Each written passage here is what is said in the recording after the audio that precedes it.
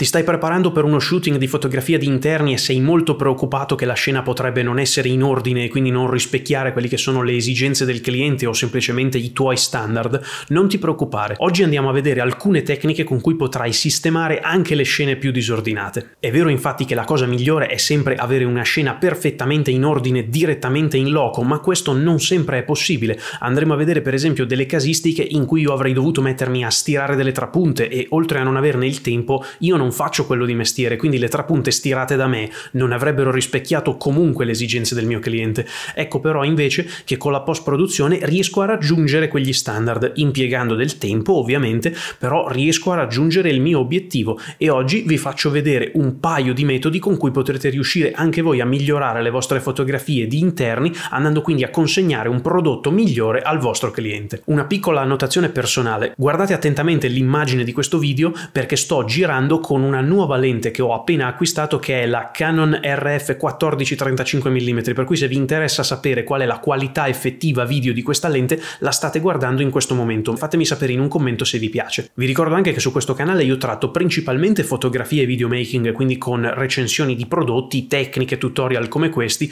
ma anche shooting e vere e proprie esperienze sul campo, per cui se questi argomenti ti interessano io ti invito a iscriverti cliccando il bottone qui sotto e attiva anche la campanella per non perderti gli aggiornamenti. Molto bene, eccoci qui come potete vedere all'interno di Photoshop, quindi la prima cosa che facciamo andiamo a utilizzare un'azione che è per la separazione delle frequenze. Spiego in un altro video che cosa fa questa azione e anche come la si crea. Come potete vedere abbiamo due livelli, uno con le luci e uno con la texture. Noi ora andremo a lavorare sul livello della texture, quindi andiamo a zoomare sui dettagli. Come potete vedere il difetto che dobbiamo eliminare in questa fase è questo, quindi il letto. Andiamo a prendere il timbro clone ma io ho già sbagliato perché non devo campionare tutti i livelli ma solo il livello corrente. Adesso va bene, vado a campionare da una zona non troppo distante e andiamo a eliminare tutti i difetti che riusciamo, perché questo ovviamente è un lavoro che stiamo facendo per mettere una pezza, in quanto la casa era stata ovviamente preparata per lo shooting, però è difficile curare questo livello di dettaglio, soprattutto se uno non lo fa di mestiere,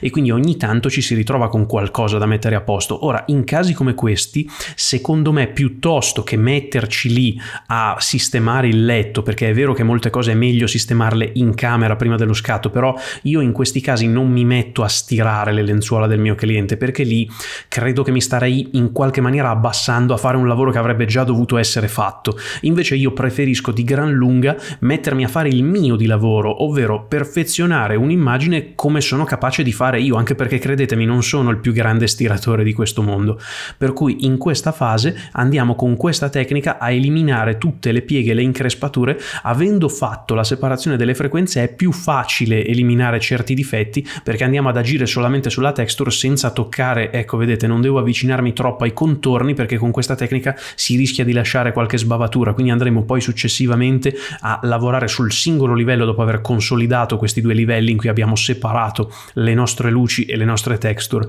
In questa fase andiamo semplicemente a eliminare il grosso, a eliminare cose che non riusciremmo a eliminare senza questa tecnica, quindi ve la faccio vedere perché è importante perché ci permette in maniera molto rapida di eliminare il grosso di questi difetti come potete vedere in maniera abbastanza buona nel senso che una volta zoomato indietro ora siamo a 500% quindi è tanto. Una volta che zoomiamo indietro non saremo più in grado di vedere questi interventi quindi sono a tutti gli effetti degli interventi invisibili. Dal momento che abbiamo un po' di tempo vi ricordo che questo è un canale che tratta temi come la fotografia il videomaking e il design. In questo caso ci stiamo occupando di grafica post shooting questo è un servizio fotografico che ho eseguito personalmente proprio in questi giorni si tratta di un servizio fotografico per un appartamento che deve essere messo in affitto su Airbnb, quindi il tema eh, diciamo che in qualche maniera deriva da un altro video che ho già pubblicato sul canale che vi lascio in card che era andato molto bene, per rimanere aggiornati su tecnologia, fotocamere, videocamere e tecniche per andare a utilizzare tutta questa tecnologia,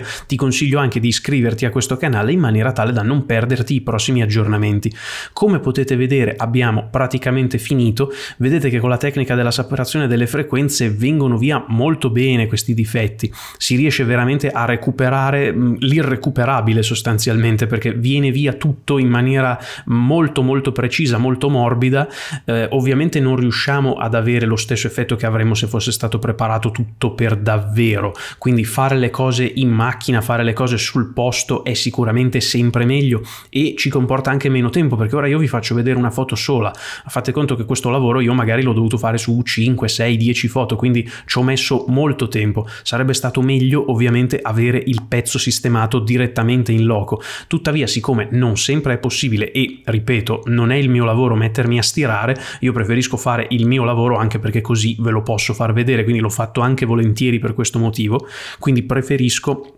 andare a eseguire un lavoro di grafica piuttosto che mettermi a sistemare la scena in questo senso, perché se c'è da spostare un mobile o dare una consulenza sulla luce, quello è il mio lavoro. Stirare non è il mio lavoro, ma non perché non lo voglio fare, sì certo anche perché non lo voglio fare ovviamente, ma anche perché non lo faccio bene, io non so stirare bene, ci vorrebbe eh, un team di persone che preparano gli appartamenti prima di realizzare questi shooting. Ovviamente quando si lavora per un contesto da Airbnb non ci sono di mezzo i soldi, ecco qui ho sbagliato, non ci sono di mezzo ovviamente i soldi per mettersi a chiamare un team di persone che si occupino di tutto e quindi lo si fa diciamo in maniera casereccia, quindi in questo senso vado io a mettere una pezza e a recuperare tutto il recuperabile. Diciamo che adesso se zoomiamo indietro il risultato non è niente male. Il prossimo step vi piacerà da morire. Come potete vedere abbiamo fatto una ricerca logo Netflix. Ora io vado a copiare questa immagine direttamente dal browser e vado a incollarla Command V all'interno del mio progetto. A questo punto vado a posizionarla, i più smart avranno già capito che cosa devo fare con questa immagine, vado a posizionarla nei pressi del televisore, faccio trasforma e faccio distorci. A questo punto come potete vedere se io prendo le maniglie, le quattro maniglie che stanno sugli angoli, posso posizionare questa immagine in maniera tale che corrisponda perfettamente, e qui sta a me essere quanto più preciso possibile, la faccio corrispondere perfettamente allo schermo del mio televisore e vado a dargli ok. A questo punto cambio il metodo di fusione con Lighten o eh, Schiarisci, mi sembra che sia in italiano, e vedete che il logo no, non si vede bene, però si intuisce, è perfettamente posizionato sopra il nostro televisore. A questo punto creiamo un nuovo livello e andiamo a prendere un po' di strumenti di fotoritocco come per esempio il timbro clone. Ora campioniamo da tutti i livelli perché qui andiamo a sistemare un pochino questo piccolo pasticcetto con la vernice che c'è sullo zoccoletto. Eh, questa è una cosa che sto notando adesso guardando le foto perché in fase di shooting non me ne ero accorto e comunque queste non sono cose su cui posso intervenire io in loco. Questa è una cosa che capite bene che non posso mettermi a verniciare durante uno shooting. Qui abbiamo abbiamo il basamento del letto che era un pochettino sbeccato, anche questo me ne sto accorgendo adesso perché in fase di shooting non ci avevo fatto caso e comunque anche qui non sono un falegname, non potevo certo sistemarglielo in scena, quindi lo sistemiamo adesso, questo è veramente questione di un attimo, semplicemente timbro clone, dobbiamo semplicemente stare attenti da dove campioniamo, campioniamo di frequente in maniera tale da fare un buon lavoro, qui abbiamo una situazione da sistemare sul pavimento. Queste non è neanche detto che siano macchie, eh. queste potrebbero benissimo essere eh, i nodi del legno, potrebbero essere i segni del taglio delle assi, qualsiasi cosa siano, è una cosa che preferiamo non mostrare in delle fotografie perché quando vogliamo vendere o affittare un immobile deve sembrare tutto perfetto. Eh, ovviamente non è che stiamo imbrogliando perché poi la casa comunque è molto bella e queste macchie probabilmente vengono anche via e se non vengono via significa che sono effettivamente segni del legno, quindi comunque sono cose o transitorie o ininfluenti, quindi non stiamo assolutamente barando in questo senso. Andiamo a eliminarle, queste, adesso qui sto, sto veramente facendo il puntiglioso perché queste ultime che ho tolto sono veramente segni del legno che eh, sono così, perché questo comunque è un legno vero e quindi ci sono dei segni come potete vedere. Io adesso ne rimuovo qualcuno dei più evidenti, giusto perché non voglio che possa sembrare uno sporchino, però in realtà già così devo dire che ci siamo. Ok,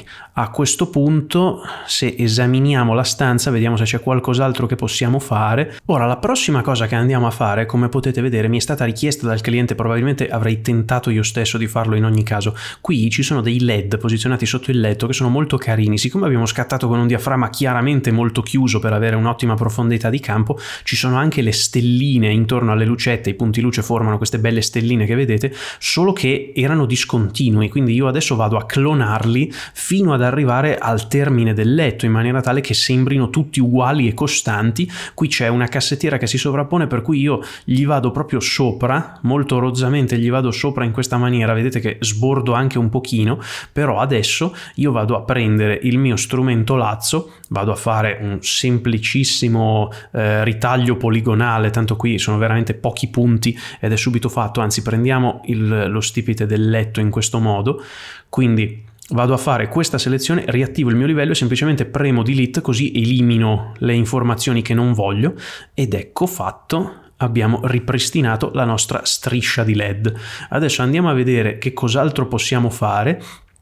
io qui vedo che ci sono un paio di difettini qui nel muro, queste sono cose ovviamente che di giorno probabilmente neanche si vedrebbero, quindi vado a creare un clone stamp di tutto quanto quello che ho fatto fino adesso, creo un nuovo livello su cui andare a lavorare e vado a fare riempi in base al contenuto, credo che sia il metodo migliore per non dover impazzire con le sfumature in questo caso, quindi riempi in base al contenuto e vado a cercare di mitigare queste piccole imperfezioni del muro che poi sono veramente piccola cosa, cioè sono cose che capitano quando si fanno dei lavori e sono cose di giorno completamente invisibili. Con la luce rasente al muro che viene giù da, da queste lampade a muro, diciamo che vengono fuori soprattutto la sera un po' di questi difettini e quindi andiamo a mitigarli un pochino.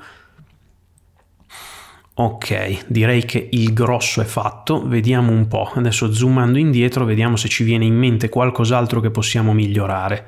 Qui sicuramente c'è qualcosa su cui possiamo andare a intervenire perché qui c'è un segno sulla vernice del muro, come potete vedere sembra un'ombra ma in realtà questa c'è anche di giorno, per cui andiamo a cercare di clonarla via eh, questa, questa, cosa, questo segno sulla vernice, andiamo a, a clonare da un'area, chiamiamola sana, e andiamo a pitturare sui bordi in maniera tale da cercare di far sparire quella riga. Andiamo a vedere come riusciamo a mascherarla e questo potrebbe essere il nostro risultato finale. Ora, cambiamo completamente scena e ci rechiamo in una cucina che potrebbe essere dello stesso appartamento ma potrebbe essere anche di un altro. Ora, come potete vedere, qui abbiamo già cominciato a eseguire un lavoro per cercare di eh, dare un aspetto un pochettino più civile a queste ante che eh, sono appena state montate e quindi non sono perfettamente in bolla. Andiamo a fare innanzitutto una selezione sulla prossima anta, quindi come potete vedere un'anta che non era propriamente pronta per uno shooting. Andiamo a creare un nuovo livello e andiamo a prendere il timbro clone con cui cloneremo dall'anta di fianco che abbiamo appena fatto,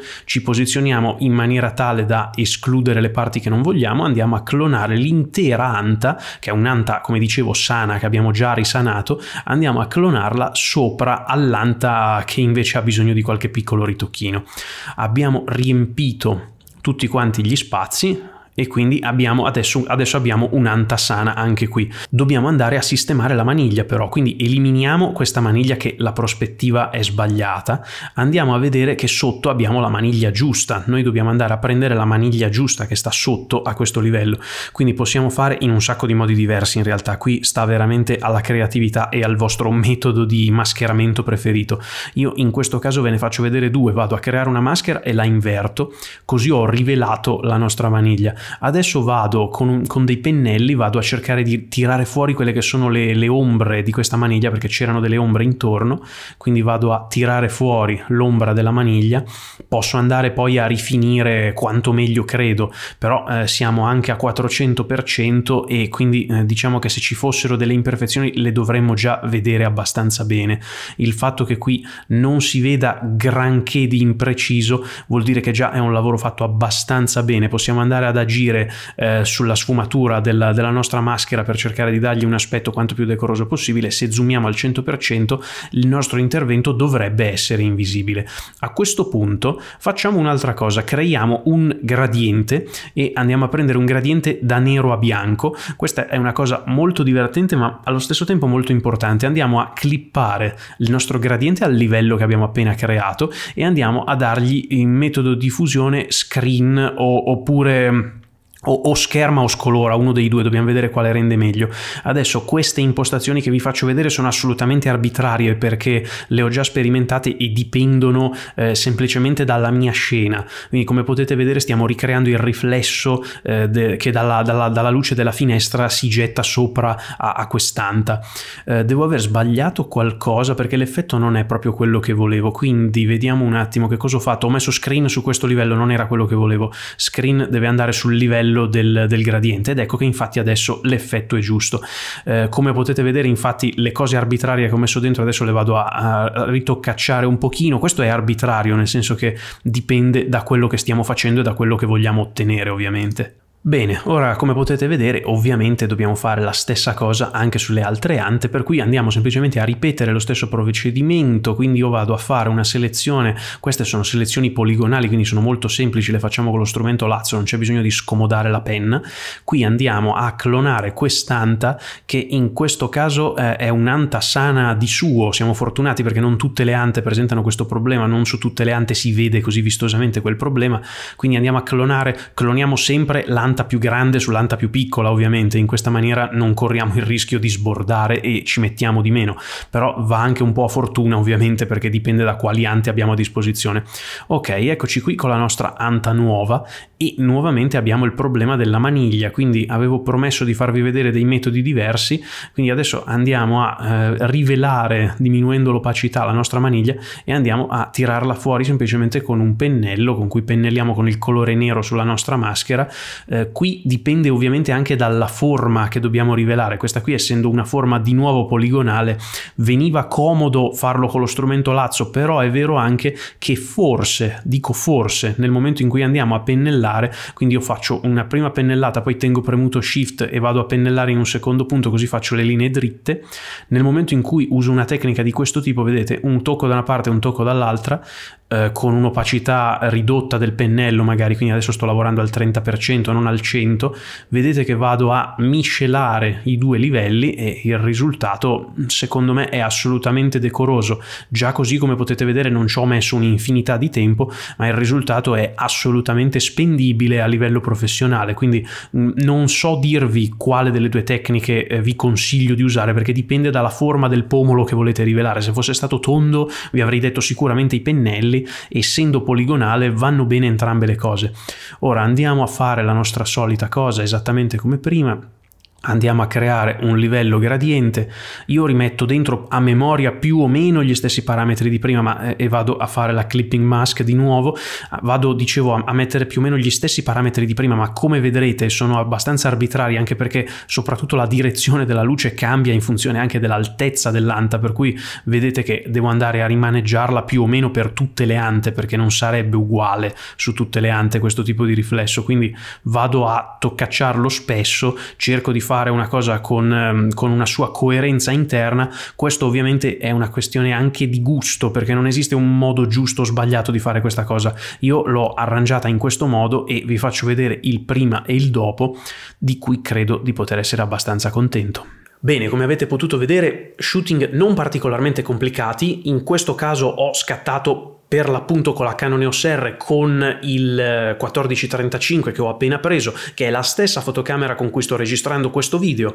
per cui è una combinazione che mi sta piacendo molto, è una macchina che mi dà grande soddisfazione perché riesco a scattare delle visuali molto molto wide, quindi riesco a dare quello che voglio dare al mio cliente. Si tratta anche di una fotocamera con un'ottima gamma dinamica, quindi non è la migliore che c'è là fuori, ma è meglio della 6D che utilizzavo prima ed è pari alla mia 5D Mark IV, quindi mi sto trovando molto bene con questa combinazione, anche se non amo fare foto con le mirrorless, devo dire mi sto trovando bene e mi piace moltissimo questa lente. Come avete potuto vedere i casi che vi ho mostrato oggi sono un po' limite perché io non potevo sistemare quelle cose in loco perché le trapunte non potevo certo mettermi a stirarle e per quanto riguarda la cucina non potevo mettermi a pulire quelle superfici perché ci avrei messo del tempo, avrei fatto disordini, avrei peggiorato la scena nel cercare di pulire. Quindi la cosa migliore era andare a risolvere in post produzione che è esattamente quello che ho fatto ovviamente il cliente è pienamente soddisfatto, per cui obiettivo centrato. A questo punto, se ho fatto centrare un obiettivo anche a voi, vi chiedo un like a questo video perché se avete imparato qualcosa mi aiutate anche un pochino con l'algoritmo di YouTube.